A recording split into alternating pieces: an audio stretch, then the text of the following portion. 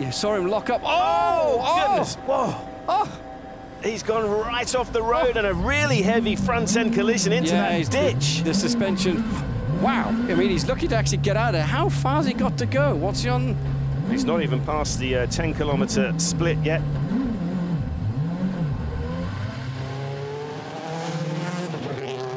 They've got no intercom either. They're saying he's still third. Yeah. Martin is saying you've maintained third. At the end, a mistake. Uh, yeah, just got caught on the braking with the front uh, hard tire. It didn't get any grip, so we went straight. Um, luckily, we get away with it, but that's rallying.